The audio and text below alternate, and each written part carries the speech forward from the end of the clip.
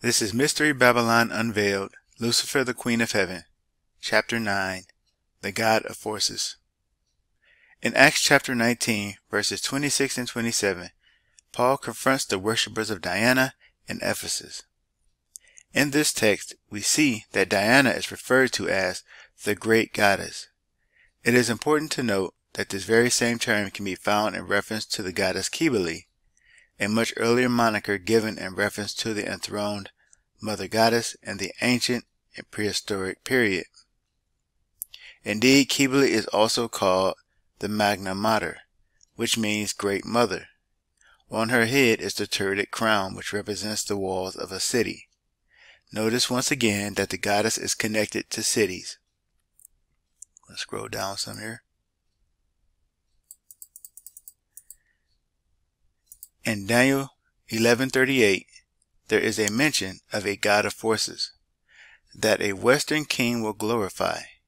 It reads, But in his estate shall he honor the God of forces, and a God whom, whom his fathers knew not shall he honor with gold and silver and with precious stones and pleasant things. That word forces is in Hebrew mawaz, Strong's H4581. It is defined as place or means of safety, protection, refuge, stronghold. Other definitions include a fortified place, a fort or fortress, or even a rock.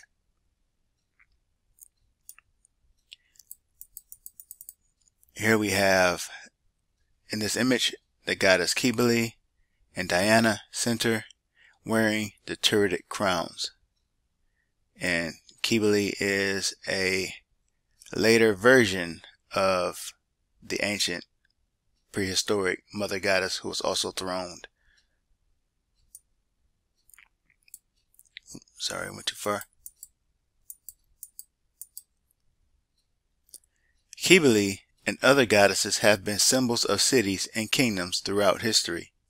The turreted crown on their head, heads proudly broadcast their role as the protector of that city and everyone in it. As Demetrius the silversmith said in Acts 19:27, all Asia in the world worships the great goddess Diana.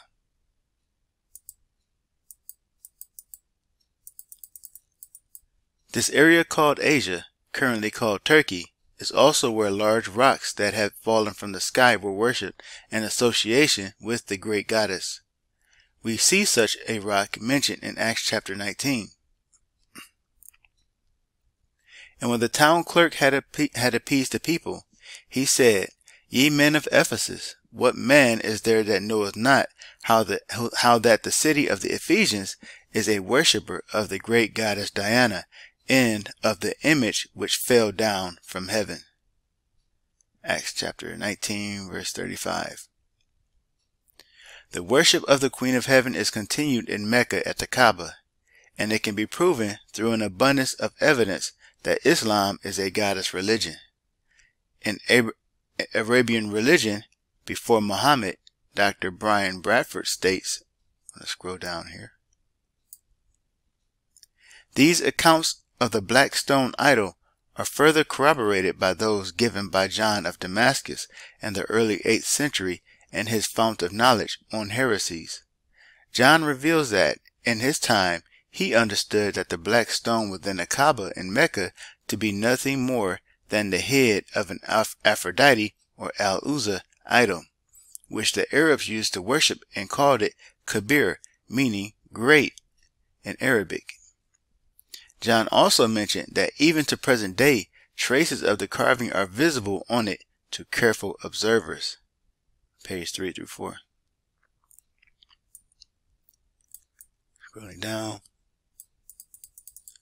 The authors of The Great Cosmic Mother, Rediscovering the Religion of the Earth, reveal that the Trinity, a, a trinity of goddesses were worshipped in pre-Islamic Arabia. Indeed, one of these goddesses named Al-Uzza was the embodiment of Venus, also called Aphrodite in Greece. The threefold goddesses of, Arabia, Al-Uzza, Al-Lat, and Manat, Magna Dea, was enshrined in the sacred black stone, the Kaaba at, at Mecca, where she was served in ancient times by her priestesses. The sacred black stone at Mecca, site of so many pilgrim, pilgrimages, is imprinted with her vulva yoni sign and is covered with a black pall called the skirt of Kaaba. The male priests who serve her today are called Beni Shaiba, which means the sons of the old woman, i.e. the moon. Page 156. I'll scroll down a little bit more. Since we will be discussing the yoni, the yoni signs, and symbol, symbolism often, let us be clear about what it is. The yoni, according to Britannica, means abode, source, womb, or vagina in Hinduism. It is the symbol of the goddess Shakti, the feminine generative power. The connection to the, to the abode or the dwelling place is significant and it occurs often, such as with the Kaaba in it being a dwelling place for gods. The black rock represented a type of dwelling place, scrolling down, for the goddess in Pergamum. In the Cult of the Black Virgin, Ean Begg gives us more information on the meteorites worshipped in association with goddesses. Cybele is the Phrygian mother of the gods whose prototype has been traced back to the Neolithic matriarchal civilization of Çatalhöyük. She was first worshipped as a black stone, and it was thus that she journeyed to Rome in 205 BC, sent by King Attalus of Pergamum at the request of the Senate. In Pessinus, the black stone, which in Rome became the head of the goddess, was considered to be her throne. Her name is etymologically linked with words for crypt, cave, head, and dome, and is distantly related to the Kaaba, the cube-shaped Holy of Holies in Mecca that contains the feminine black stone venerated by Islam. Pages 56 through 57. Scrolling down. Whether this black rock in the Kaaba is the same that traveled from Pergamum to Rome is unclear to me. But what is so interesting about these stones is that they were worshipped as the throne of the goddess. In Revelation 2.13, Jesus Christ proclaims that Pergamum is where Satan's seat was. That, the text reads, I know thy works and where thou dwellest, even where Satan's seat is, and thou holdest fast my name, and hast not denied my faith, even in those days wherein Antipas was my faithful martyr, who was slain among you where Satan dwelleth. Revelation 2.13 That black rock marked the places where the goddess dwelled. Another indicator that, that goddess worship was a major factor in Pergamum is that Jesus Christ proclaims to the church there, But I have a few things against thee, because thou hast them there that thou hast there them that hold the doctrine of Balaam, who taught Balak to cast a stumbling block before the children of Israel, to eat things sacrificed unto idols, and to commit fornication. Revelation 2.14 As seen here, the doctrine of Balaam involves committing fornication and idolatry. We know biblically that the worship of Baal and Asherah go hand in hand. See Judges 3.7 and 6.25. In his admonition against the church of, church of Pergamum, Jesus Christ thus equates goddess worship with Satan worship, and his description of the pagan practices of Balaam directly corroborates with those of the old perverted goddess religion involving fornication with the priestesses of the Queen of Heaven. This is this no doubt also corresponds to that which was going on in the church of Thyatira as well, as Revelation 2, 20 through 22 reads, Notwithstanding, I have a few things against thee, because thou sufferest that woman Jezebel, which calleth herself a prophetess, to teach and to seduce my servants to commit fornication and to eat things sacrificed unto idols. And I gave, scrolling to the next page, her space to repent of her fornication, and she repented not. Behold, I will cast her into a bed, and them that commit adultery with her, into great tribulation, except they repent of their deeds. Here, yet again, we see the act of committing fornication as connected with idolatry. We see here that the woman responsible for teaching this form of religion called herself a prophetess. This tells me that she was a sacred prostitute of the goddess. It is unlikely that she was actually named Jezebel. It's, mo it's more likely that Jesus Christ called her that because the same spirit that was working in Jezebel was working in her. Therefore, this, this is ultimately an admonition against the doctrine of Lucifer. After all, Jesus Christ called this the doc, called this doctrine the depths of Satan. Scroll down. And I will kill her children with death, and all the churches shall know that I am he which searches the reins and hearts, and I will give unto every one of you according to your works.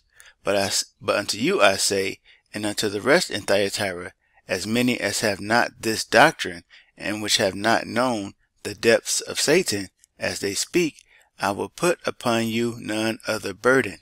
Revelation 2 verse 23 through 24.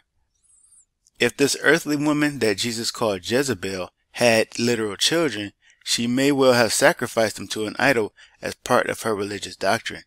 As such, the threat to kill her children would be of little consequence. It seems that this threat to kill her children was not aimed at an earthly Jezebel, but at the spiritual Jezebel, Lucifer.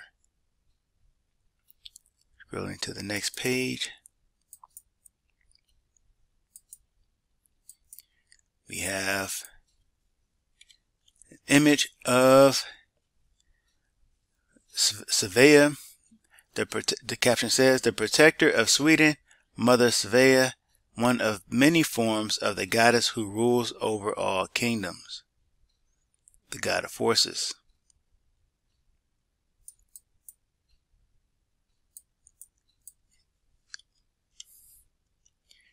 And this image is, the words are getting a little small. See if I can zoom in better on that. Well, I, I guess that's the best I can do. Uh,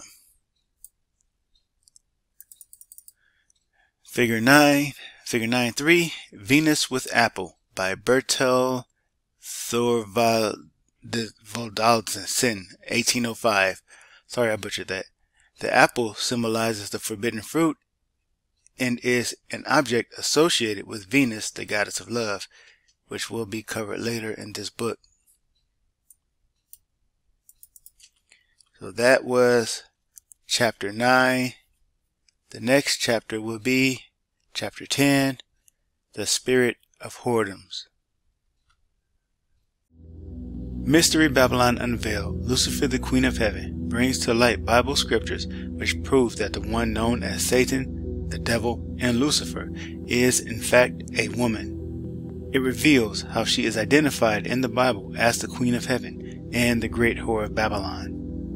This book also brings forth incontrovertible historic evidence confirming that Lucifer was worshipped in the earliest recorded history as the Great Mother Goddess, and that she is still worshipped as such within the halls of secret societies today. Discover where the world's worship of the goddess began and where it is hidden within the pages of this book. Mystery Babylon Unveiled, Lucifer the Queen of Heaven is available in paperback and ebook at all online sellers. If your local bookstore or library doesn't carry this book, please request it. By doing so, you will help get the book onto more shelves. Mystery Babylon Unveiled, Lucifer the Queen of Heaven contains essential knowledge that all Christians should take hold of. It is an insightful and profound revealing of one of the greatest mysteries in the world,